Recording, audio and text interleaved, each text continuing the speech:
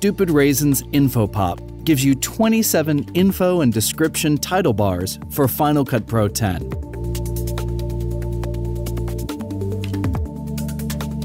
Before we get started, be sure to like this video and subscribe to the channel to get FX Factory tutorials, pro video tips, and software and product reviews every week. InfoPop was created exclusively for Final Cut Pro 10. You can find it in the Titles browser under InfoPop. Let's take a look at a few of the presets. These info bars were handmade in a variety of styles to go well with all sorts of projects.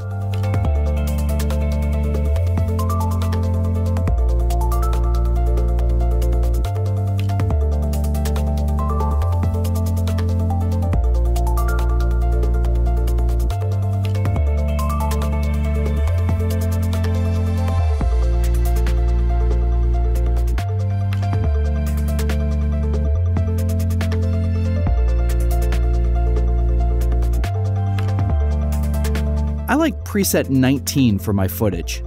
I'll attach it to the clip on my timeline. First off, I'll customize the text right on screen. If you need to reposition or resize any of the bars, this is done easily in the parameters.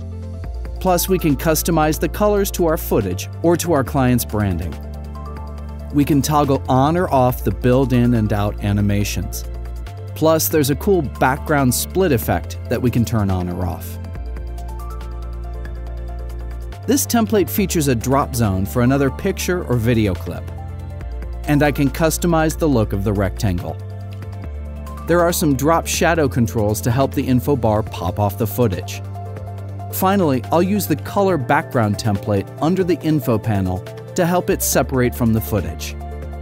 I just created an animated info bar for my footage in seconds. This would have taken me hours to create and hand animate. Stupid Raisins Info Pop is a must have set of professionally designed and animated graphics that are perfect for a variety of projects.